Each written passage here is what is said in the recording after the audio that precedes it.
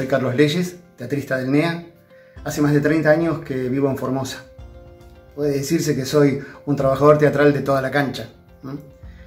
Bueno, aquí estamos, como todas, todos y todes, haciendo cuarentena.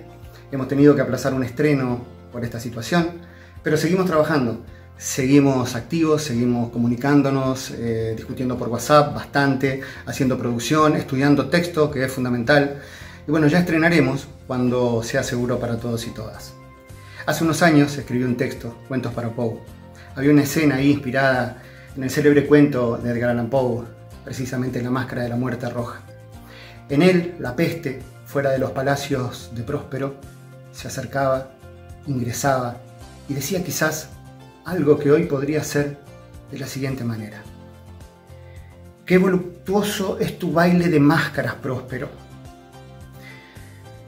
Qué bien abastecida tu abadía, tus siete salones en hilera imperial.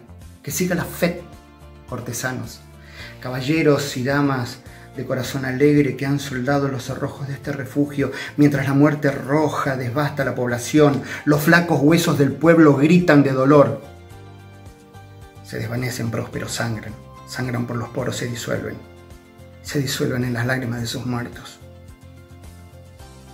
Has visto los rostros de las víctimas, próspero. Has visto desechados de la humanidad, lejanos, de todo socorro y compasión.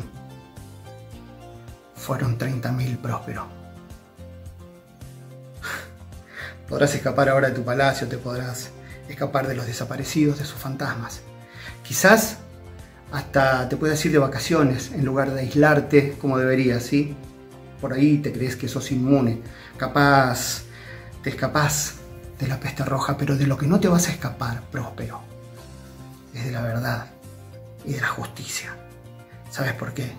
Porque estamos todos unidos y porque ya nunca más, próspero, nunca más.